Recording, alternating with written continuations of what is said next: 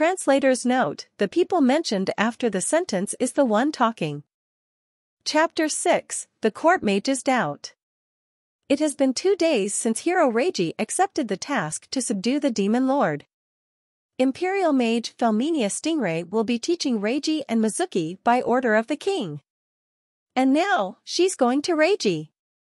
It can't be. Hero's teacher, Felmenia. She's grumbling while walking, but inside her heart there is joy. After all, out of all the senior mages, she was chosen to teach the hero who will save the world. To think that she will be teaching the hero, she can only chuckle. This means that she is trusted more than the other court mages, and that the king has high expectations of her. Foo foo foo. Felmenia. She can't hold her laughter. She's glad there's no one around. She always has a serious persona, if the others see her laughing, it would be very embarrassing. Setting that aside, on the subject of teaching, it seems that in the world hero Reiji came from, there's no magic.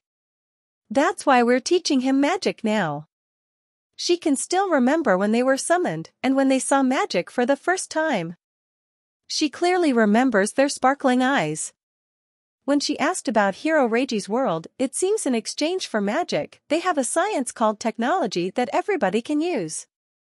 It helped the civilization evolve. It was interesting.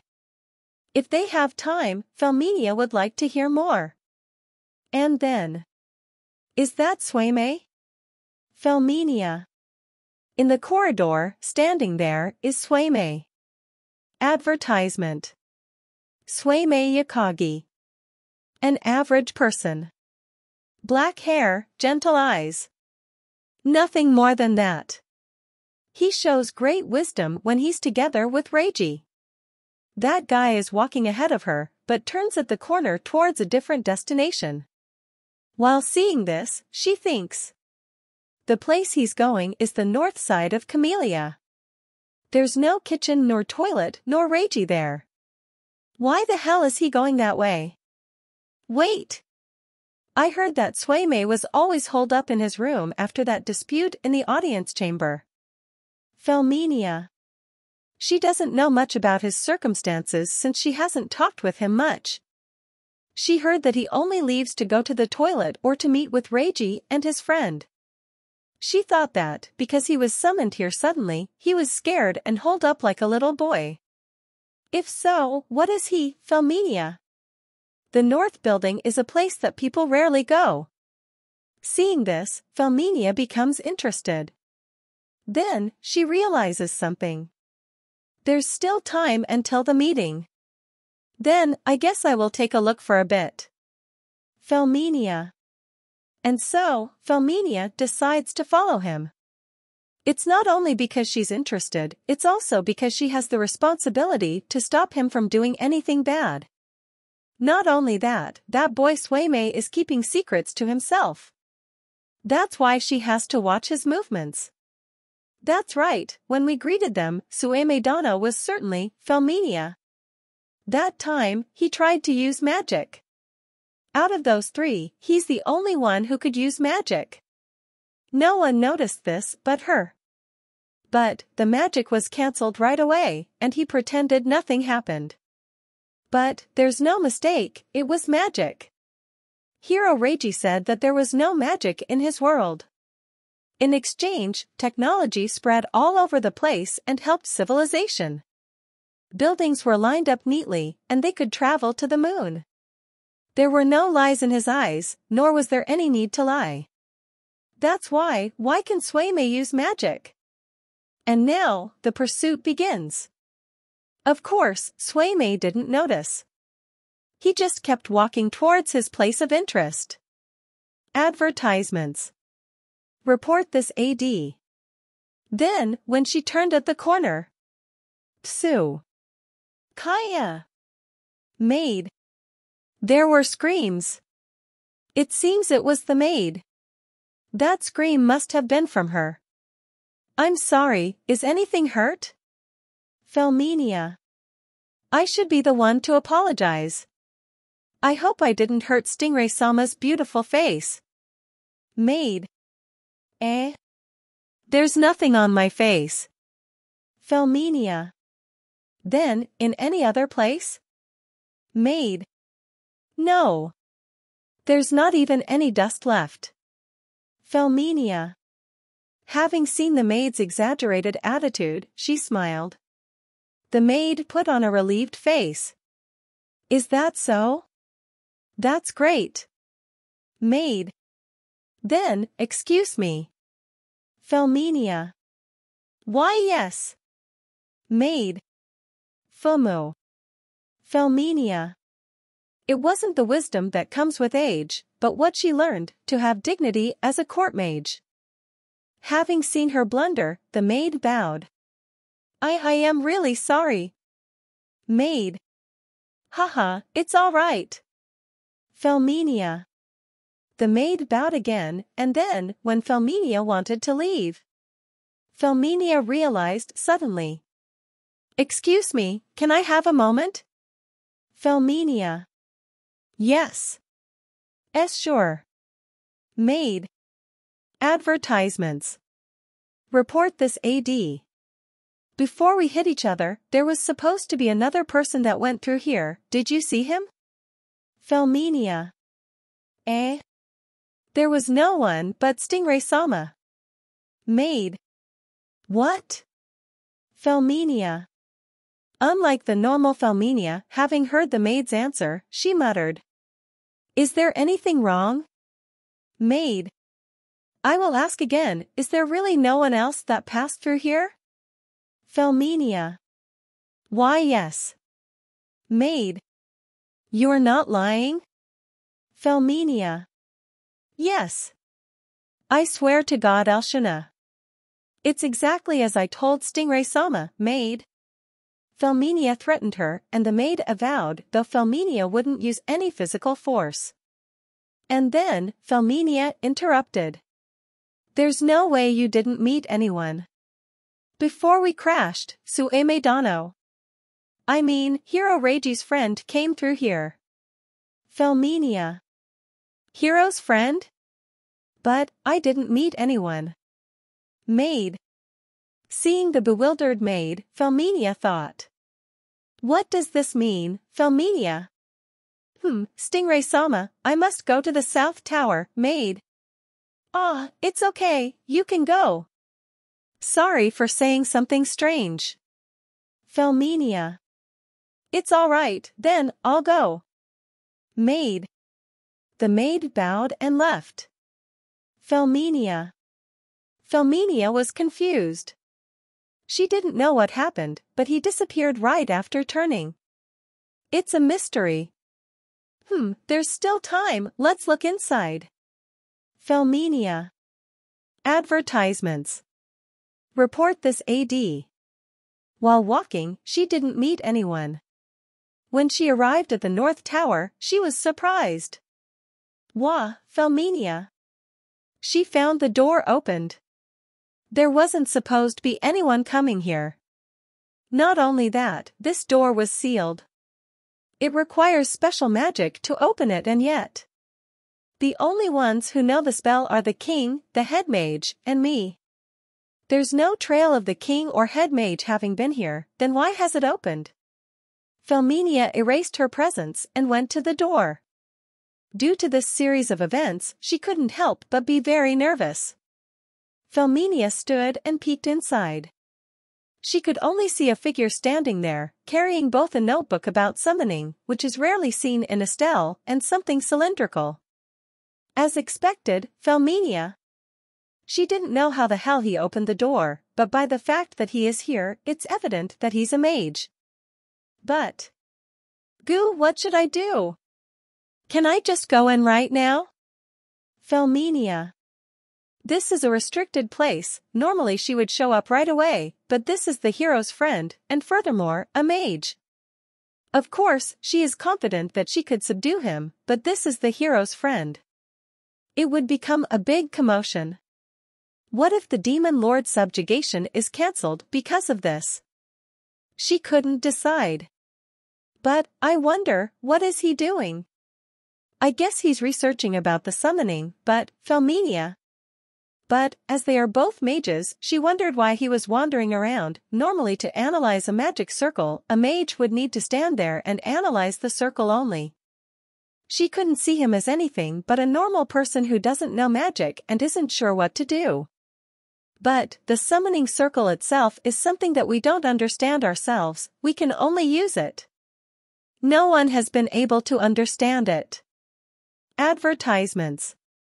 Report this AD. In the end, Felmenia couldn't even let her voice out or move. And after watching Suimei's weird behavior, she decided to go to the meeting instead. About Hero Reiji's friend? King. Felmenia is now standing in front of the king in the audience chamber. The reason is, of course, Suimei. After that day, she tried to watch him. And now, she intends to ask the king. The king is confused and the kneeling Felmenia nods. Yes. That's right. Felmenia. Is it Mizuki Anu? King. No, it's the other one, Suimei. Felmenia. The king squints his eyes. From what I know, that one is holed up in his room and never comes out. King. No. He has actually left the room numerous times. Felmenia. This is the result of Felmenia's searching. She found out that Suimei has gone out countless times. And, of course, no one knew. Contrary to his deception, he's actually pretty active. Hearing that, the king raises his voice. I haven't heard that from anyone. King. It's because the seclusion is glorified. He's moving in secret. Felmenia. No one has seen him? King. I suspect I'm the only one who knows. Felmenia. That's right, there's no one but her. When she asked others, they insisted that he's never left. Then, why are you the only one who knows? King. I only met him walking by pure chance. It seems he's using magic when no one is around. Felmenia. Magic? Is it something you taught him? King. Advertisements. Report this AD. No. It's something he knew beforehand. Felmenia. The king is making a face of disbelief. But, I heard there's no magic there. Magic is just something from fantasy in Hero Reiji's world. King.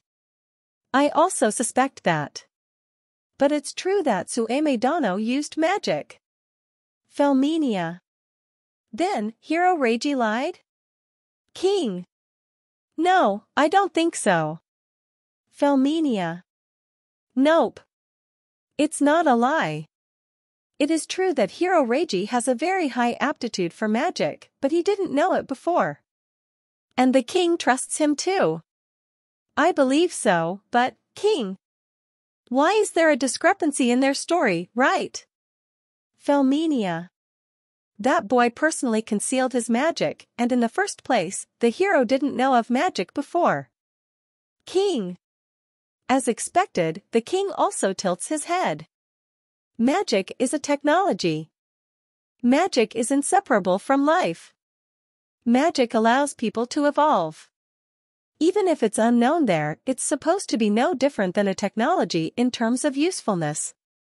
Your Highness, there might be a complex situation in the other world, but right now dash, Felmenia. The thing is, why is he doing so much to conceal his activities and magic? King. Yes. Felmenia.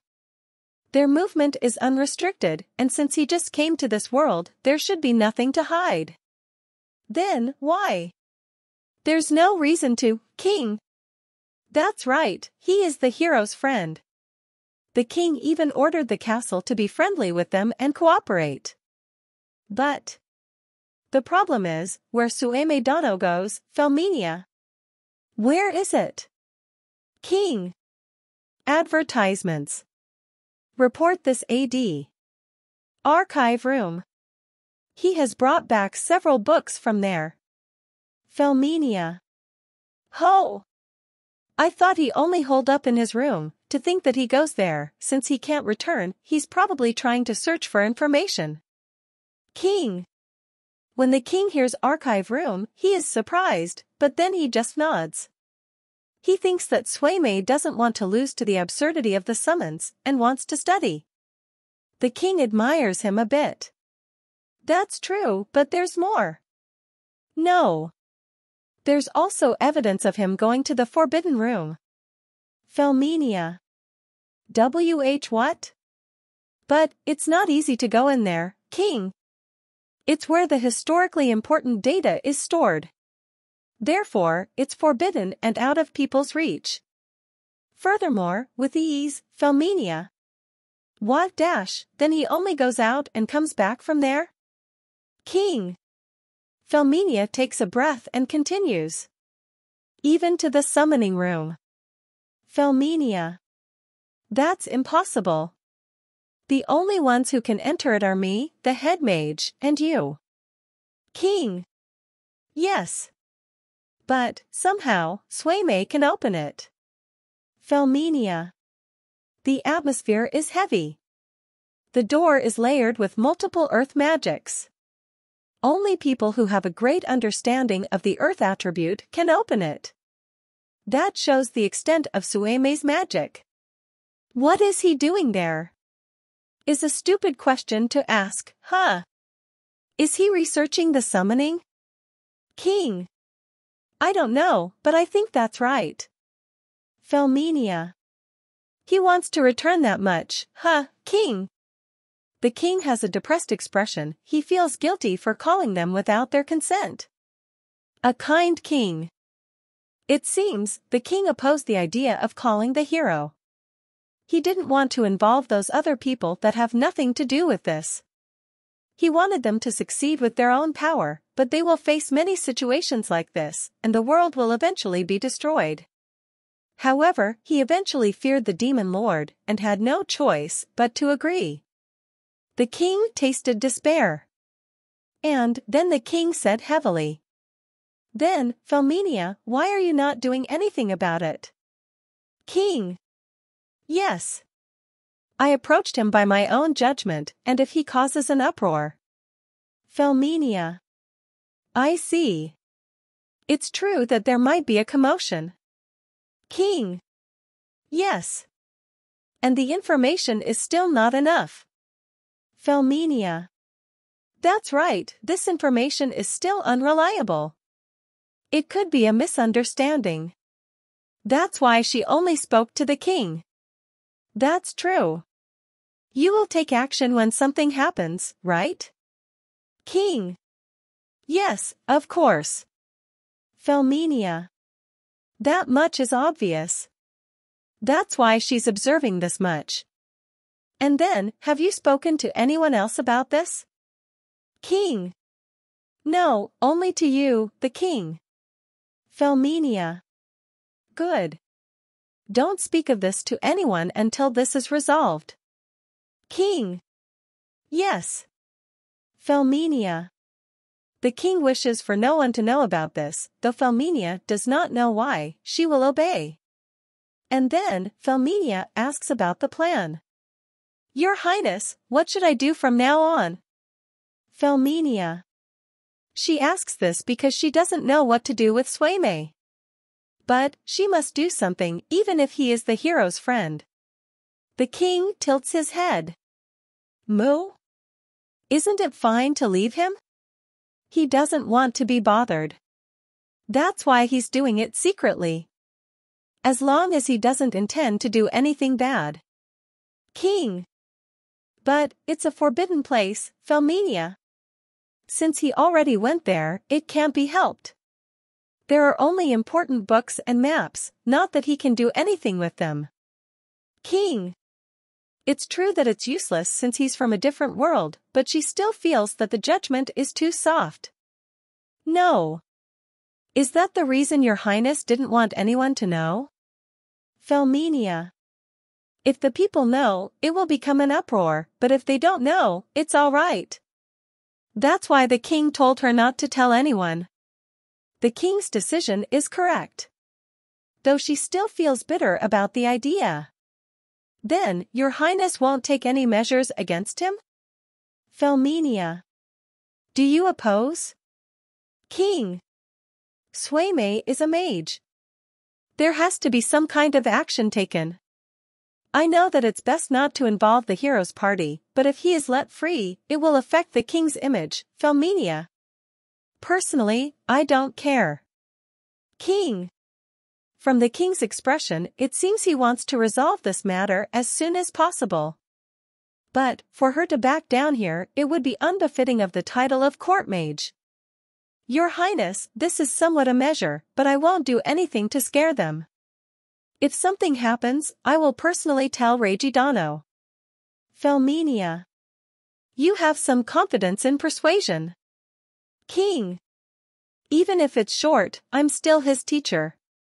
He won't ignore my words. Felmenia.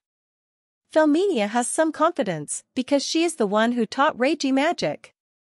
If she says that his friend is doing bad things, he would have to do something about it. From their talks, she knows that Reiji hates bad people. No problem. That's why, for now. That's why, I only need your highness approval, Felmenia. After thinking for a while, the king lets out a voice with a serious tone. No, king. Your highness. But. Felmenia. Felmenia, Suimei Dano is an important guest of mine too. I can't allow you to harbor any ill intentions towards him. King.